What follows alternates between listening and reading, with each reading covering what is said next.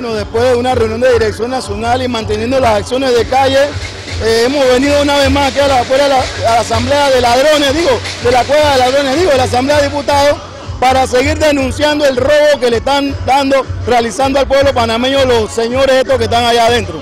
Y mantener los niveles de manifestación para seguir generando conciencia. Invitamos al pueblo, hay que mantenernos en las calles, generando conciencia y protestando, porque estos señores se van a robar más de 500 millones de dólares de nuestro dinero para hacer campaña electoral. Cárcel para los diputados corruptos. Cárcel para los diputados corruptos. Cárcel para los diputados que se roban la plata del pueblo. Cárcel para los diputados que se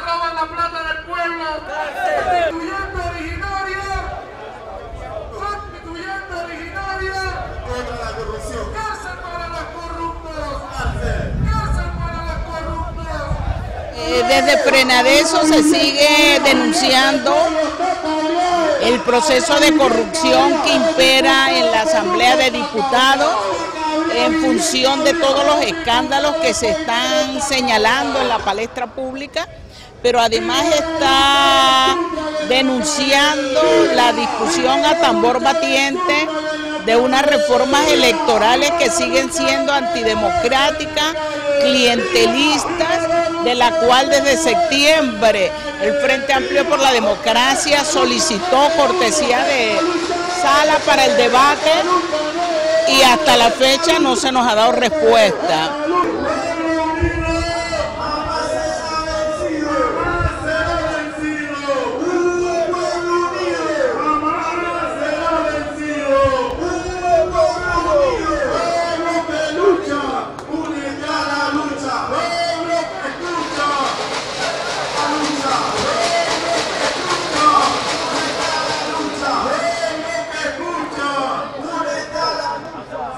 Saben la condición como está Panamá. Panamá hoy por hoy, los tres órganos de Estado no los tienen, que por donde tú metas el dedo hay pus.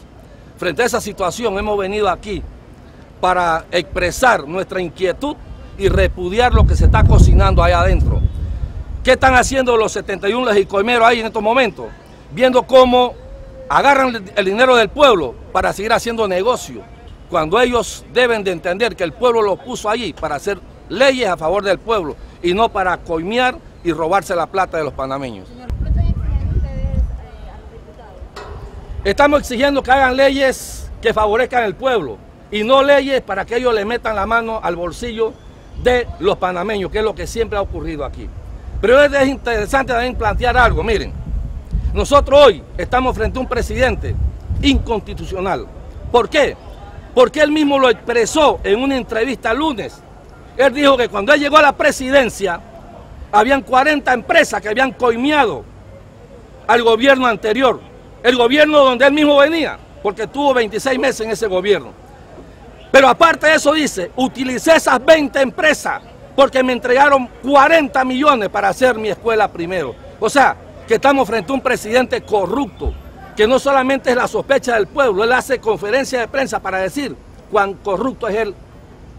Y los panameños tienen que hacer algo frente a esa situación. Sin luchas, sin luchas. Abajo los diputados corruptos. Abajo los diputados corruptos. Abajo.